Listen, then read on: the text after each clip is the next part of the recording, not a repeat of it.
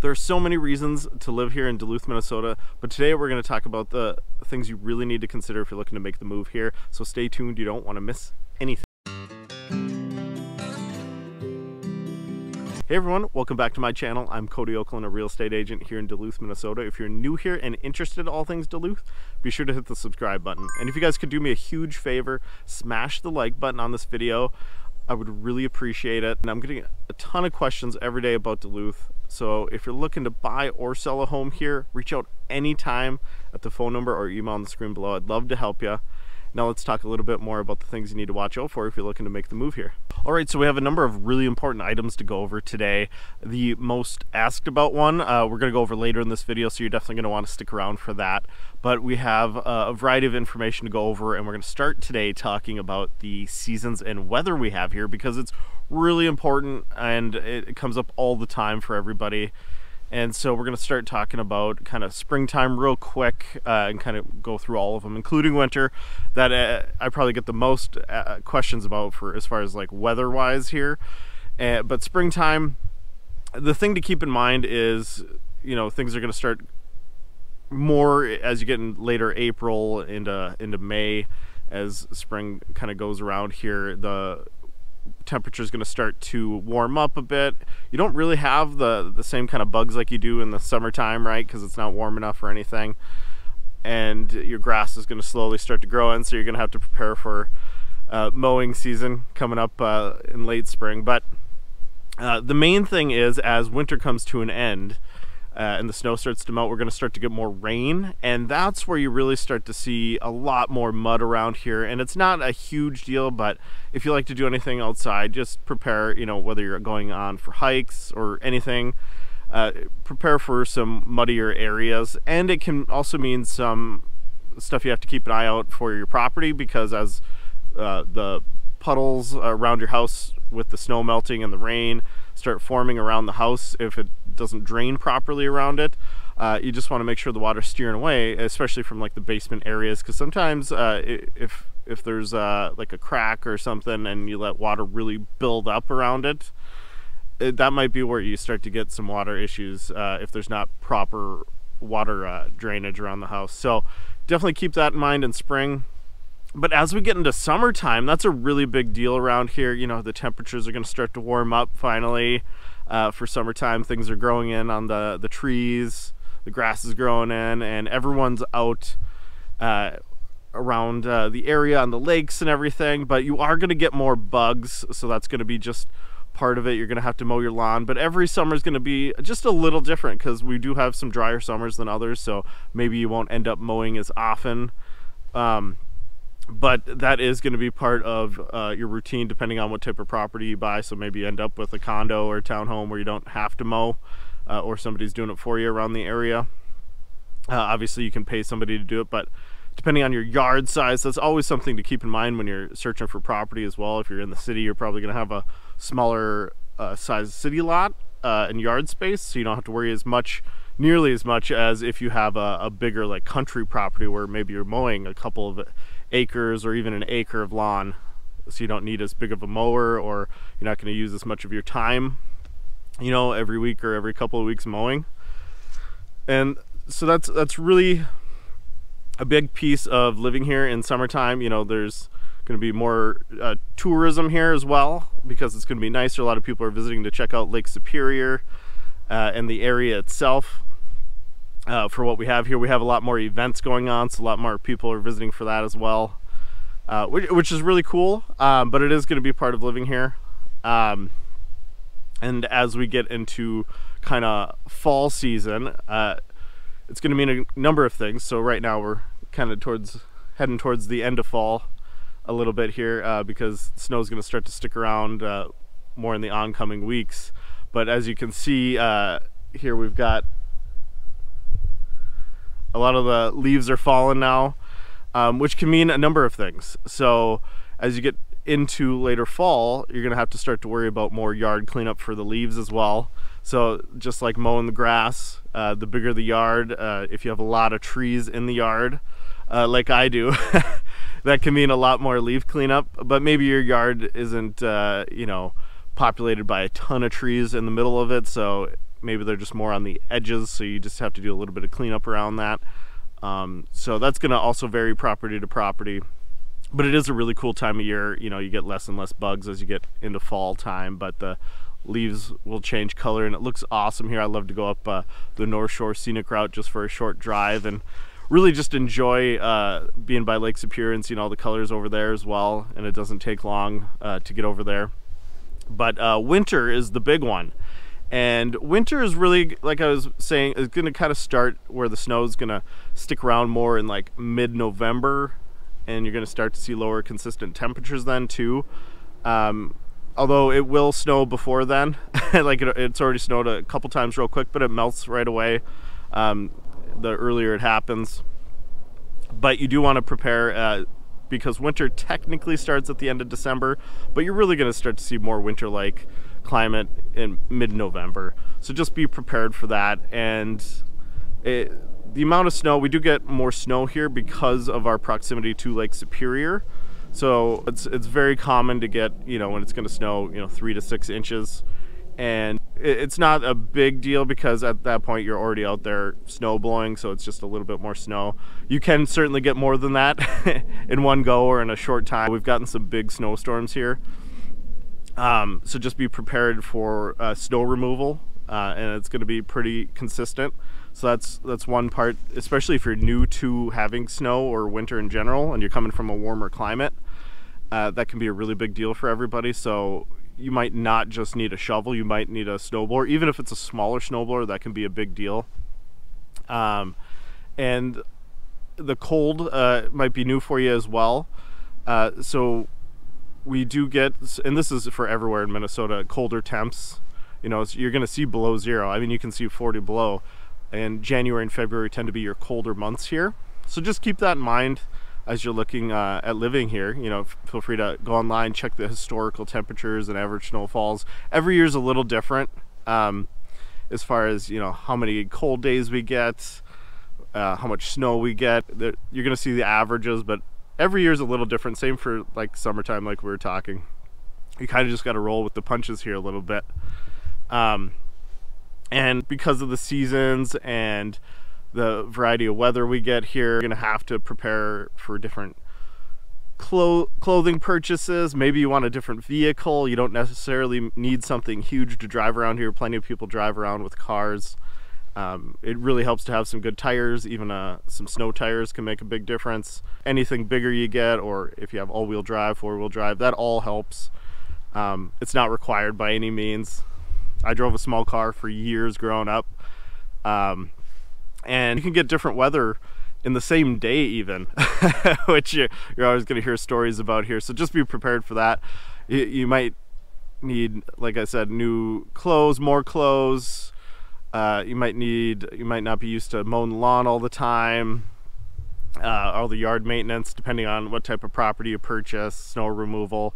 So that's all coming. And the other part to the weather here is going to be the Lake Superior lake effect. And that's, like I said, one reason we get more snow here. But it does a couple interesting things as well. Is it makes it really hard for the weather people to predict the weather here.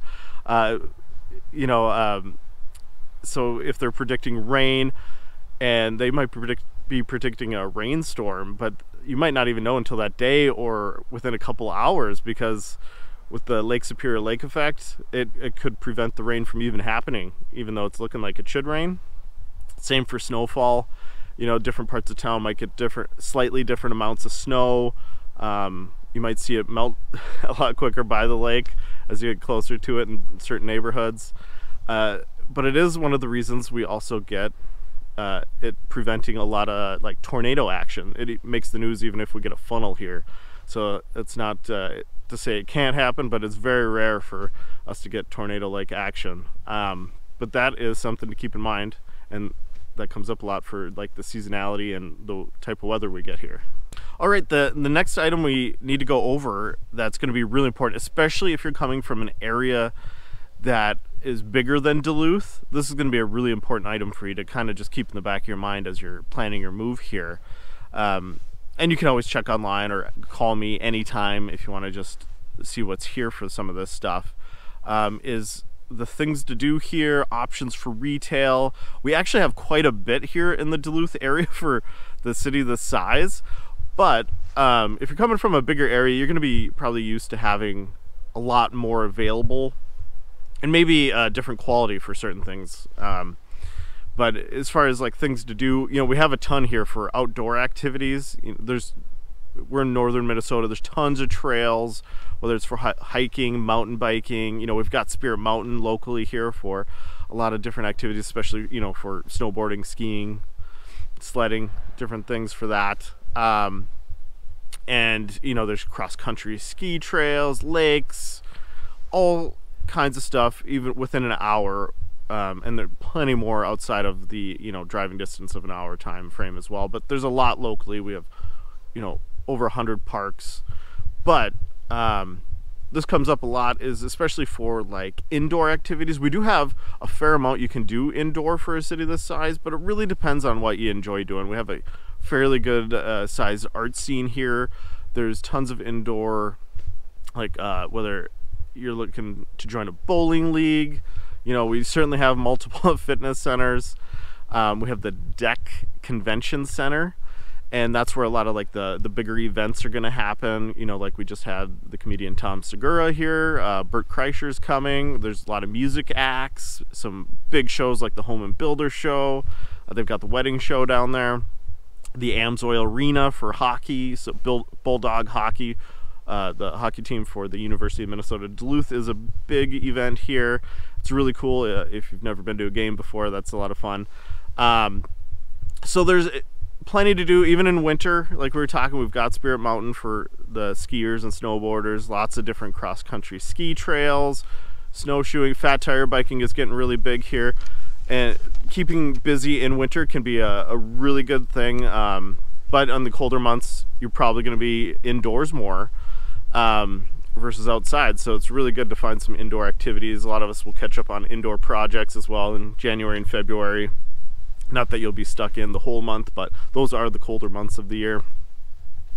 So for retail though, you know, we've got a lot of the big box stores if you're just looking for Target, Walmart, Best Buy. We've got a number of different grocery stores like Super One, couple of Whole Foods, couple of Aldi's. Um, Super One is the main chain here though. We also have Cub Foods, Mount Royal grocery store. Um, and there's a main area as far as retail goes. The main area is going to be in the Miller Hill Mall spot. You know, we've got Best Buy, Fleet Farm, Menards, Home Depot, um, a ton of small uh, boutique stores as well, whether it's for clothing, gift shops, all that stuff.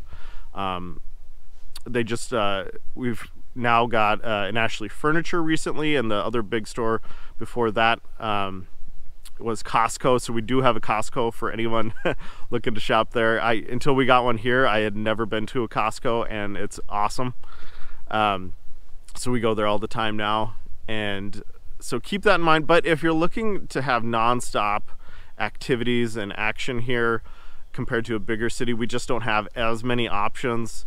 So sometimes um, you know if you're looking for a little more activity uh, and to get out of the area even for like a day trip or a couple days like for an extended weekend yeah, the twin cities is going to be a couple you know depending on where you're going two to three hours away um, where you know they'll have a lot of the major events down there so a lot of us will end up traveling uh, here and there for some of those but just keep that in mind as you're looking to move to this area. Now the third item on the list today is always a big topic here and this comes up everywhere you're gonna live is construction. Now, if you're not used to living in a place with like a real winter, that really affects uh, planning around uh, the seasons for you know when you can do certain construction and things like that. Uh, this is going to be totally you know new. So because we have winter, it really affects a number of things the the main one you're always going to hear about are the roads here, and that's not just in Duluth. That's you know anywhere in Minnesota, really, uh, because of how winter will affect the roads. So you're going to see potholes, uh, and this isn't for every road by any means, but there's plenty of roads that are going to be a little bumpier than more than some of them. Uh, some are going to have more potholes, bigger potholes. It just depends. So it's really good. Um, that's another good reason to visit too, is just to see you know what everything's like for that. But um, so they're always going to be doing road work in a place where there's winter like this, uh, anywhere in Minnesota really. But that's that's a big topic here. Um, so you're going to see a lot of roadblocks. Um, they've been doing some really good work on some different areas, but you might be on you know detours, uh, so it might not affect you if you're working remotely. Um, but if you're you have an office job here that you're moving for or anything uh, similar, you know that that's going to be a part of your summer um, into you know fall here. Um, but they've been doing some great work. It's really really good to see some of the work they've been doing lately. Um, there's a big freeway freeway project that's been a multi-year project that um, looks like they're doing some good work on still, and it's all winter's also going to affect just your standard construction for a lot of different things outside as well, because you know part of the year you know with the ground frozen and they also have road restrictions for bigger vehicles uh, for some of this stuff. So you're not going to see everyone out in winter doing a lot of the outdoor work um, which is also the part of the reason a lot of stuff is happening in the non-winter months. So you're going to see a lot more of that and they're a lot busier so it's hard to always have a contractor readily available. So if you're coming from an area with a moderate climate maybe you have more access to contractors. So you might be waiting um, for certain work here uh, that you might not be used to have to wait wait for. Um, so that's a really big deal here as well. And being a smaller area there's not as many contractors uh, as some of the bigger areas. So keep that in mind uh, as you're looking around uh, for what you can plan on for construction wise here. All right, next on the list is something else that comes up uh, regularly, and that is the layout of Duluth and the distance to different places. And this might depend on it, where you're coming from uh, and what you're used to. And Duluth uh, is going to have an interesting layout because you're going to have the Duluth Hill on, you know, a good chunk of Duluth, uh, and it's by no means taken up the entire city like some people will uh, have you believe in. But uh, there's going to be plenty of area uh, above the hill. Uh, there's lots of homes on the hill too, which is also the reason uh, a fair amount of homes might actually have a some kind of view of Lake Superior, even if it's a small one outside of a corner window. And there's lots of area down below towards Lake Superior on the bottom of the hill but uh, Duluth is kind of spread out, um, and it's not necessarily built uh, like some of the other areas where you can just walk to get everywhere. Um, so I would say because our main retail area is going to be uh, above the Duluth Hill, kind of in the Miller Hill Mall zone. That's uh, where a lot of it is going to be, and then in some of the other neighborhoods you're going to see you know you've got some gas stations some small retail uh, maybe a grocery store even if it's a smaller grocery store. So you don't always have to leave every zone to to get some stuff. Um, uh, and you know some different um, jobs are focused in other areas. So if you're working at like say one of the hospitals you know a lot of the the main hospital area is going to be downtown Duluth uh, at the bottom of the hill area there so if you don't want to deal with the hill at all, you know, you might have to live towards the bottom of the hill somewhere. And so it can all factor in. So if you're looking to walk everywhere, I think it's going to be really tough. Um, there's certain it's certainly easier to bike more than it used to be, but it's still a fairly spread out area. So I think um, you're still going to need to drive around for a good chunk of things but it is getting easier uh, in certain areas to get around uh, if you at least looking to bike or walk around. I mean, we certainly have sidewalks in a lot of areas and a lot of parks and things like that, but the area itself is, like we were talking, fairly spread out. Um, but it doesn't necessarily take long to get everywhere either. I mean, we don't have as many people as a bigger city. So, I mean, typically, I mean, you're going to be within five to ten minutes of quite a bit.